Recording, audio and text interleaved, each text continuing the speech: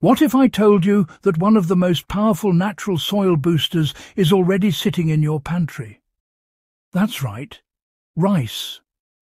The same simple grain you use for dinner can turn tired, compacted soil into a living, breathing ecosystem bursting with microbial life. When I discovered the power of pulverized rice, my garden went from struggling to thriving in just weeks. The difference was so dramatic I couldn't keep it to myself. Today, on Timeless Crops Haven, we're diving deep into how this humble kitchen staple became my secret weapon for rapid plant growth and long-term soil health. Rice isn't just food for us, it's food for soil life. Each tiny grain is loaded with starches, proteins and trace minerals that beneficial microbes absolutely love. When these microbes feed, they don't just break down the rice, they create an entire underground ecosystem that feeds your plants. But here's where it gets interesting. The way you prepare the rice determines how it works. Whole rice grains feed your soil slowly, over months, acting like a time-release capsule. Pulverized rice, on the other hand, unlocks its nutrients instantly, feeding soil bacteria and fungi at lightning speed. Once I learned that, I had to test both side by side. The results weren't even close. Pulverizing rice, grinding it into a fine powder using a blender or coffee grinder completely changes how it behaves in soil. By increasing its surface area thousands of times, it gives microbes easy, instant access to all that starch and protein locked inside. Within a week of applying it, I noticed greener leaves, stronger stems, and a visible increase in new growth. What's really happening beneath the surface is pure biology magic. Soil bacteria like lactobacillus feast on rice starch and release lactic acid as they digest it. That acid naturally unlocks phosphorus and other minerals trapped in the soil, making them available to plants. These same bacteria also help suppress harmful pathogens that cause root rot and nutrient lockout.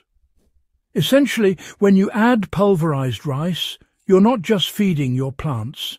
You're feeding an entire microscopic army that protects and nourishes them. Here's the exact method that produced the best results in my garden. You only need plain, uncooked white rice. No fancy varieties required.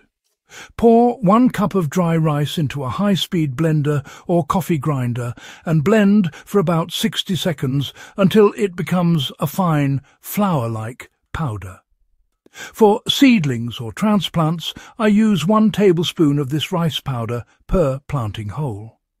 Mix it slightly below where the roots will sit so they grow directly into it. After planting, water with about one pint of water per plant, which is roughly two cups, to activate microbial activity. For larger, established plants that need a boost, sprinkle about two tablespoons of the powder evenly around the drip line, gently scratch it into the top inch of soil, and water thoroughly. About half a gallon per plant works perfectly. Within seven to ten days, you'll start noticing visible signs of improvement. Leaves look healthier, stems firm up, and fruiting plants like tomatoes and peppers begin to set stronger blossoms. If you're working on a tired compost pile, sprinkle a thin layer of rice powder between each layer of material and lightly mist it with water, about one cup per square foot of compost surface. The resulting microbial bloom will raise internal compost temperatures and break down even tough organic matter faster than usual. So why does it work so fast? Pulverized rice gives beneficial microbes a feast of easily digestible starch. When these microbes multiply, they release enzymes and acids that make locked-up nutrients like nitrogen, phosphorus and potassium instantly available. The fine rice particles also create tiny pockets in the soil that hold moisture longer and encourage root-friendly bacteria to thrive. In less than two weeks, this microbial surge transforms even dull, compact soil into a living, breathing environment. You'll notice more earthworms, a looser soil texture, and that deep, earthy smell that tells you your soil is alive again. It's the kind of transformation chemical fertilizers can't match because it's biological, not artificial. After seeing the power of pulverized rice, I didn't completely abandon whole grains. They just have a different purpose now. Whole rice breaks down slowly, feeding the soil over several months. It's perfect for long-term soil building when preparing new garden beds or maintaining raised beds between seasons. When I'm refreshing a bed, I mix one cup of whole rice grains into every four square feet of soil and work it into the top six inches along with compost. Then I water deeply, about one gallon per square foot, to kickstart the microbial colonization process.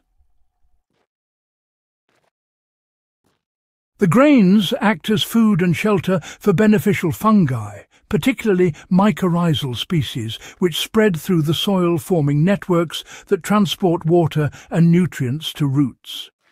Over time, these fungi create stable soil aggregates, improving structure and preventing compaction. The grains themselves slowly decompose, leaving behind small air pockets that improve drainage and aeration especially helpful for container plants that often struggle with compacted soil.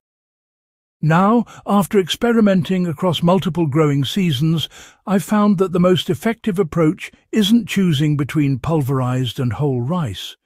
It's using both strategically. Pulverized rice is my go-to emergency rescue when plants look tired or stressed. It's fast, it's powerful, and it delivers visible results quickly. Whole rice is my foundation builder, the long-term investment that sustains soil life and prevents biological burnout over time. By combining the two, you can create a rhythm that keeps your soil thriving year-round. Use the powder form for quick activation during transplanting or mid-season feeding. Then, when you're preparing beds for the next season, mix in whole rice to keep the microbial cycle alive and balanced through winter. One important note. Always manage moisture carefully.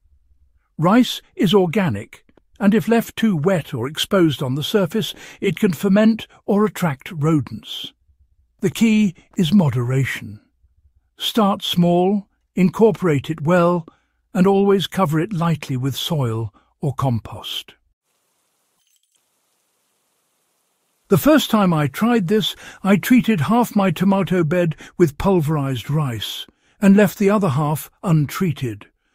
Within ten days, the difference was undeniable. The treated plants had thicker stems, darker leaves, and noticeably more blossoms. After three weeks, they outproduced the untreated plants by nearly double. It wasn't a miracle, it was microbiology in action.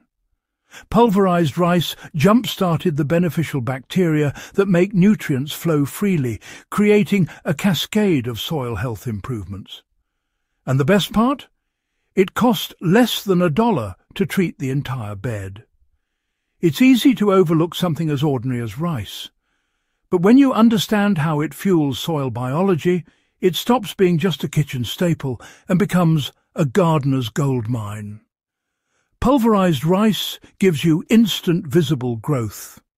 Whole rice gives you sustained, long-term fertility.